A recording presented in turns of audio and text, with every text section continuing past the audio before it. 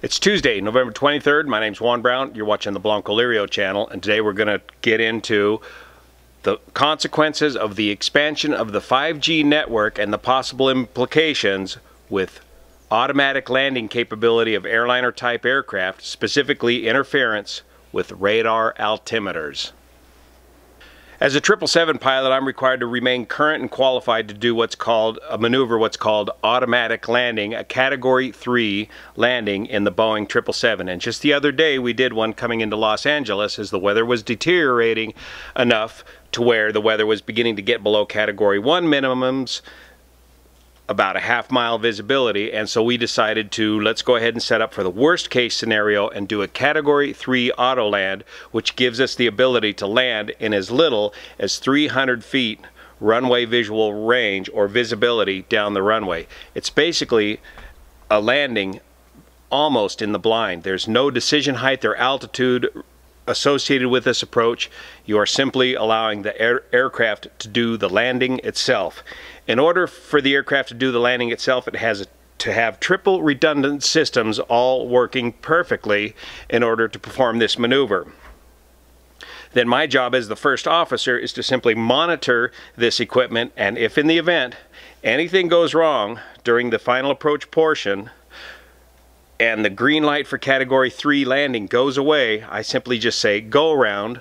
We don't argue about it. We don't try to figure it out. We just go around because we do not have time to troubleshoot and then sort out the problem after we've safely gotten away from the ground. Now there's a lot of uh, equipment on board the aircraft that help us do it and again it's got to be in a triple redundant format but the one piece of critical equipment that can automatically land the aircraft for us is the radar altimeter. It's basically an analog piece of equipment that was designed, well, years ago under certain specifications that were of the state of the art at the time but now we've got a 5G network that is encroaching on the frequency range of these radar altimeters, creating a possible interference problem. Now the radar altimeter is used for a wide variety of reasons in the aircraft, the auto landing being the most critical, and it also helps us out with things like terrain awareness, getting too close to the terrain, that's used with enhanced GP, GPS information, or we call it GPWS. It's also used in um, air traffic uh, collision avoidance maneuvers. It's also used in wind shear avoidance maneuvers. All those different functions use the radar altimeter to some degree, but the most critical portion is auto land. The radio altimeter becomes effective at about 2,500 feet. The radio altimeter has a transmitter and a receiver on board the aircraft. This transmitter only puts out about one watt of power of energy to make this work. It sends out a pulse of energy or a pulse of frequency, changing frequencies, that is reflected off the ground and received by the aircraft and that difference in time is what determines the altitude of the aircraft straight down below the aircraft. At two, uh, 300 feet to 200 feet, then the radar altimeter automatically calls off for us 50 feet, 40 feet, 30 feet, 20 feet, at 50 feet on an auto land with everything coupled up, it will automatically get the aircraft into the flare mode and it will automatically cause the autopilot to perfectly flare the aircraft and touch down right in the touchdown zone because you're also using using the localizer signal for lateral deviation and the glide slope signal for vertical deviation. That coupled with the radar altimeter reading the altitude above the ground is what gives you the perfect auto land. And it really works well. I mean that thing lands better than I can. And it's very impressive. It's nerve-wracking.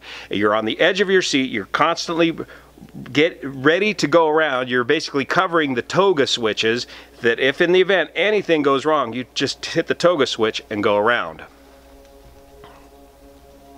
and the critical thing about an auto land is if something goes wrong in the final number of feet of the auto landing, you may initiate a go around, say from 100 feet or a 50 feet, and the aircraft will probably touch down. You will do a bounce and go off of the runway. And you better have that aircraft over the runway when you do that bounce and go or touch and go. Now, in the past, this has been a concern with 3 and 4G uh, wideband communications, cell phone communications, but now with 5G, the FCC, the Federal Communications Commission, is auctioning off a critical band of frequencies very close to the frequencies that our radar altimeter operates. And we'll go inside and take a look at this in closer detail here in a moment. So we've got four big factions that are involved in a power struggle over these frequency bands. And this has been an ongoing battle. And this is, quite frankly, how the sausage is made when it comes to regulating the airwaves. We all want 5G because, especially in urban areas, because we need, we want higher speed internet. We want faster internet. We want to be able to watch the Blanco Lirio channel, and I want to be able to blast something up quickly. In order to do that, I need, they, the telecommunications industry needs bandwidth. They can't make the uh, devices any more powerful. That's already limited, but they need more frequencies. They need more bandwidth, and that's why they are making a grab for these frequencies near the radar altimeter band. So if you follow the money in this situation, you can see that there is huge money behind the telecommunications industry. And so the FCC and all the politicians, of course, uh, they all want high-speed internet in their jurisdictions. And so the FCC, if you you look at the document I'll post inside here, they very much want to auction off these frequencies to the telecommunications industry. On our side of the fence is the lonely FAA, Federal Aviation Administration, and they don't have exactly all the ability to understand exactly what all the implications are of this frequency merge or this this uh, this potential interference or conflict of frequencies. And so the FAA relies on a third party called the RTCA the radio tele I'm to read it straight and so the FAA relies on a third party called the RTCA, the Radio Technical Communi Commission for Aeronautics. They've been around since the 30s, and they are a, a, a group of electronic engineers and peers volunteer that help the FAA with these sort of issues. And the RTCA has recently published an over 278 page report that points out the possible interference problems that this new 5G network may have, may propose to the airlines and other forms of aviation, such as helicopters, because they need to use the radar altimeter for their TAWS systems, the terrain awareness systems. They, the helicopters need to get into these various hospitals uh, in various weather, and they need that radar altimeter to work for them in those applications, and also for general aviation. Part 135 and some of the more sophisticated parts of general aviation also use radar altimeters. So the volunteer engineers and scientists at the RTCA have taken an initial look at the problem by basically bench testing a bunch of radar altimeters and bench testing to the best of their ability to try to replicate real life scenarios. For example, real category 3 approaches, particularly the one into Chicago is what they modeled after, and add to that mix five potential 5G interference from the very frequencies that the FCC is fixing to auction off here, and they have found that with a certain level of safety, of about a 6 decibel safety level, they have found that in their laboratory testing, there is a high degree of possibility of interference. They were able to reproduce in the lab interference that could cause very much a problem for radar altimeters. Now, because this is only done on the bench, theoretical bench work, and not empirically derived, we'd have no real data from the real world of this yet. The right away the 5G Americas, the, the group representing the telecommunications industry, immediately poo pooed the uh, report from the RTCA, saying that it was an unrealistic look at the problem, and of course, that the 5G network will pose no problems whatsoever to the airline industry. I think we got another problem to look at. I hope Steve Dickson from the FAA takes a closer look at this and really listens to what those scientists at the RTCA are telling them about these possible interference issues. Let's go inside and take a closer look. First, let's start with a report from the RTCA. This is the advisory group of scientists and engineers to the Federal Aviation Administration.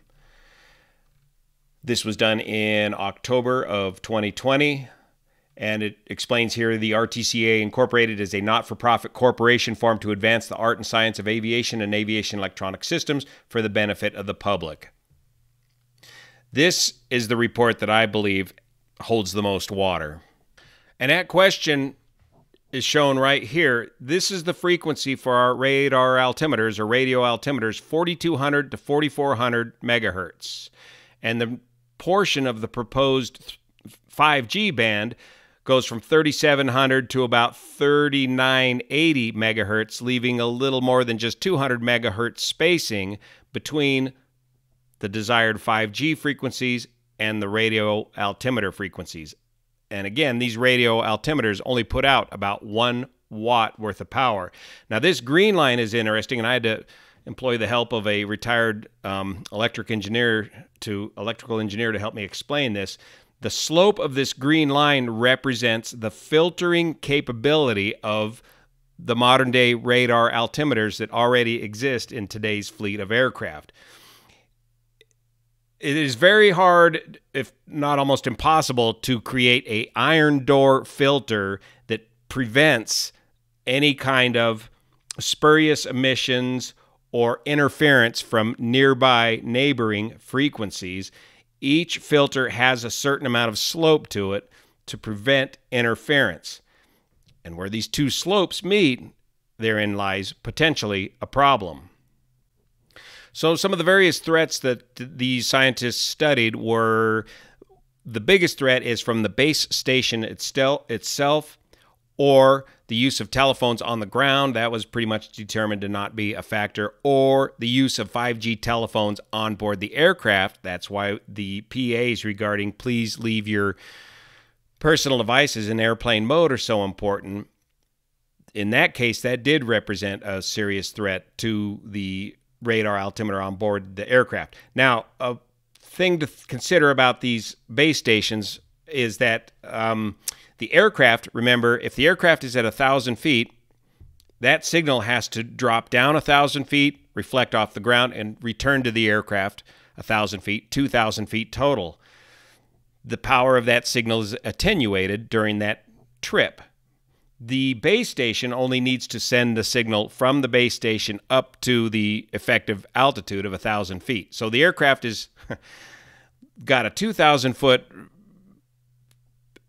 distance to lose its power, get interfered with. Whereas the base station, at one point, the base station is going to win over the power of the base station is going to win over the power of the aircraft. Now, that being said, the base station is primarily designed to beam down to capture the cell phones of the people on the ground. And they're not necessarily aimed up at the aircraft. But what is going to be critical is the placement of these 5G base stations in and around locations of Category 3 ILS approaches at these major airports. Also, around the various hospitals that helicopters need to use. As part of their report, they modeled the ILS Category 2 and Category 3 ILS runway 27 left at Chicago's O'Hare. Notice down here, Category 3, there are no minimums. RVR of 6, 600 feet runway visual range. You're basically landing in the blind. There's no decision altitude, no decision height. The aircraft is going to automatically land.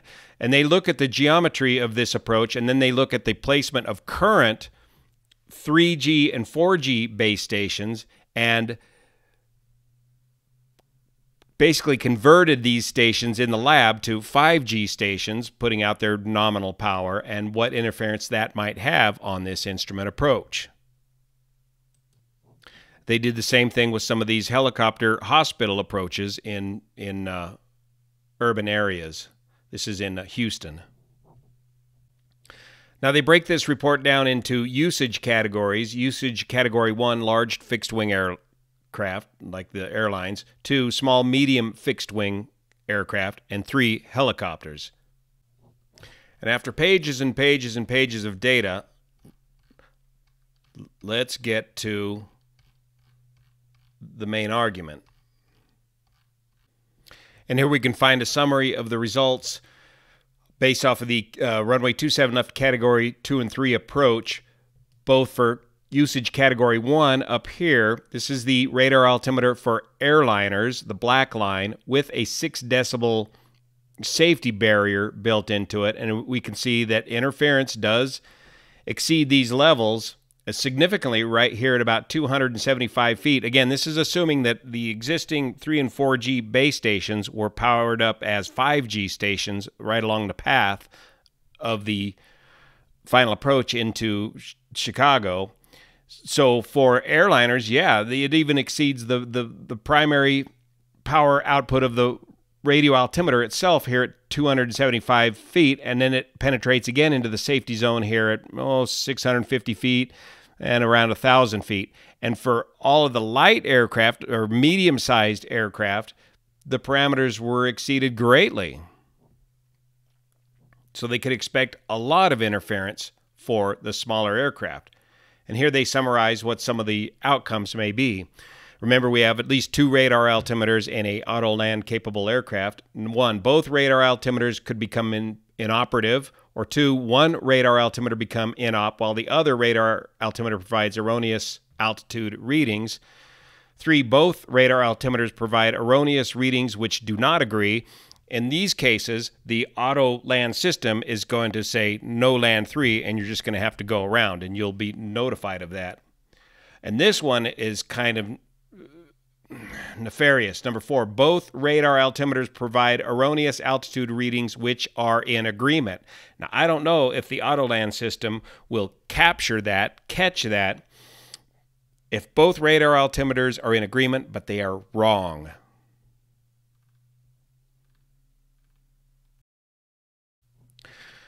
For usage category three, i.e., helicopters coming into the landing zones on hospitals, yes, they found interference levels that exceeded that of the safety margin built into the radar altimeters. So, in summary, on page 88, this report says that this does represent a major risk of harmful interference to radar altimeters of all types of civil and commercial aircraft caused by 5G telecommunications in this frequency band of operational scenarios. And the FCC is reminded that, look, we were here first. The radar altimeters were here first. The 5G network is the new neighbor on the block, and that if interference is found to be true on the behalf of aviation, which was here first, then the 5G operation is obliged to to either power back or shut down or move further away from the frequency range of the radar altimeters because aircraft were here first. Next up is the 5G America's white paper. This is the telecommunications industry telling us that all is well. There will be no interference with radar altimeters, and yet they haven't done a single bit of testing themselves, as far as I can tell from this report. Instead, they are only disputing the report by the RTCA. This report gives us a broad overview of the 5G spectrum that they want to use, and that some 5G has already been employed overseas, and yet they have not, as of yet, received any reports of interference with radar altimeter operations overseas. And here they go over the specific frequencies they need or want to use. They basically need to build a bigger pipe to get more data through quicker. Now, here in chapter four, they get specifically into radar altimeters and state that the FCC recognized that radio altimeters are a critical aeronautical safety of life system primarily used at altitudes under 2,500 feet, but concluded that well designed equipment should not ordinarily receive any significant interference, let alone harmful interference, given these circumstances. Furthermore, the FCC noted that they expect the aviation industry to take account of the RF radio frequency environment that is evolving below the 3980 megahertz band edge and take appropriate action if necessary to ensure the protection of such devices. Well, this is where the FCC and the FAA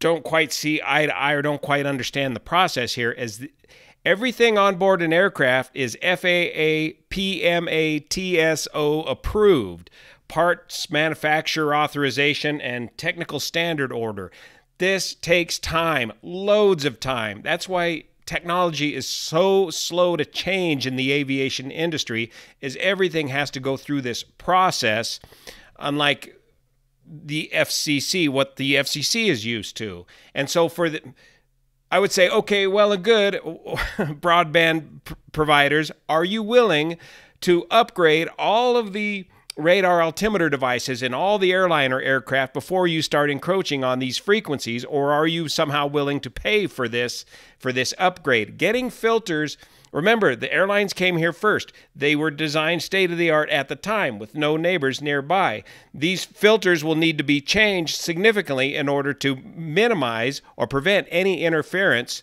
as is currently being proposed by 5G and then here in paragraph 4.2, they address the RTCA report specifically. In parallel, the aviation industry has been providing studies to the FCC during the proceeding. However, these studies have significant shortcomings, in particular, engineering analysis dated on 7 October 2020 from the RTCA, that's the report we just got through discussing, was overly conservative when reevaluating real world conditions. Conclusions of the study would be different as discussed hereafter. And the same is true for any other study that came along their way, according to 5G Americas. And then they proceed to pick apart the RTCA report without any engineering data derived by themselves. I want to see your math, 5G. Then here in uh, chapter 4.4, they go on to provide some real world examples where 5G has been deployed and there have been no reports yet of any interference in Japan, South Korea, or Europe. Now, here's from the FCC the mid-band spectrum auction. FCC begins mid-band spectrum auction October 5, 2021, the FCC today kicked off a mid band spectrum auction to support next generation wireless services, including 5G, in the 3.45 gigahertz band. Auction 1110 will make available 100 megahertz of, of uh, continuous mid band frequencies. From FCC Acting Chairwoman Jessica Rosenworcel, we are moving with record speed and collaboration to free up more mid-band spectrum for 5G. These airwaves are a critical part of unlocking the 5G promise everywhere in the country. I want to thank the FCC staff who have worked so hard to start this auction this year. And I want to thank our partners at NTIA and the Department of Defense for working with us to free up this spectrum of 5G. Bidding in the first phase of the auction will kick off at 10 a.m. And in this case, I can't. That number is so big, I can't even. Is that fourteen billion seven hundred and seventy-five million three hundred fifty-four thousand dollars, based on January fourteenth, twenty twenty-one estimate? So that's where the that's not where the bidding starts. The huge money involved in this. As a result of this controversy, this has resulted in a delay in the game, a delay of one month. Eh, but look at the spending that's going on with this, the money behind this. Verizon Communications is spending $45 billion on the C-band auction, AT&T 23 billion, T-Mobile 9 billion. There's a lot of pressure to get this pushed through, a lot of investment pressure, and there's nothing the FAA can do in one month's time about this situation. We did, however, get a weekly a weekly wrote written uh, special information airworthiness directive. Stand by, let me find that.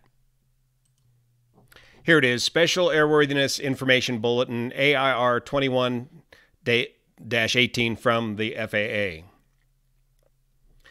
This SAIB recommends that radio altimeter manufacturers, aircraft manufacturers, and operators voluntarily provide to federal authorities specific information related to the altimeter design, functionality, specifics, and deployment and the usage of radio altimeters on the aircraft, and that they test and assess their equipment in conjunction with federal authorities. Well, what test? Results from that testing and assessment should be reported to the appropriate civil authorities and spectrum regulators. The FAA is currently collaborating with the FCC and the NTIA, the National Telecommunications and Information Administration, to assess the need for mitigation beyond the recommended action in this informational bulletin. This, uh, they're so far behind on this. So they want radio altimeter manufacturers to test their equipment and determine their vulnerability to interference and their current filters on board their their equipment. Aircraft manufacturers want to have all their radar altimeters tested and checked for the possibility of interference problems. And operators and pilots remind passengers that all portable electronic devices are allowed for transport, checked in baggage, should be turned off and protected from accidental activation. Remind passengers that all portable electronic devices in the cabin and any carried on the aircraft to be in non transmitting mode or turn them off, in other words, airplane mode. Seek information from the manufacturers of the aircraft and radio altimeters on possible effects of interference. Operators should ensure their pilots are aware of the potential degradation of radio altimeter capabilities and any means to compensate for in flight radio altimeter anomalies. Consider both erroneous altimeter readings and the loss of altimeter function. Great. How many of us are going to end up going around if, in the event there is an interference problem, and how's that going to back up a backlog of traffic if this should become a problem? Operators should ensure their pilots are aware of the potential degradation of capability of safety systems and other equipment dependent on radio altimeters, like the TCAS and the GPWS and the and the uh, wind shear alerting system. Operators should consider the potential loss of pilot trust in dependent aircraft safety systems in the assessment of existing and development of new crew procedures. You cannot, we spend an extraordinary amount of time in the simulator teaching people to trust the instruments, trust the gauges, trust the equipment that you are given to work with here. And now we're throwing that trust right out the window potentially. Operators and pilots who experience radio altimeter anomalies should notify air traffic controllers as soon as practical. Reports should include as much detail as possible, include information to describe the anomaly. Should we'd like to this uh, I don't know. There's this is an ongoing battle. It's not the first rodeo we've gone to with uh, the FCC and radio frequencies. I hope this gives you a better information better understanding of what we're up against here in the industry with the uh, app, with the encroachment of 5G into the radio frequency spectrum that is right next to that of radar altimeters in not only airliner type environments but also helicopter operations and general aviation as well. Again, thanks so much for your support of this channel over on Patreon that make this content possible, pulling this kind of information together takes a lot of time. Thank you so much for your support. See the links below for all these reports. Let me know in the comment section below what you think, especially you electrical engineers out there. Take a good look at this uh, data, especially the RTCA report, and see what you think. Let me know in the comments below. See you here.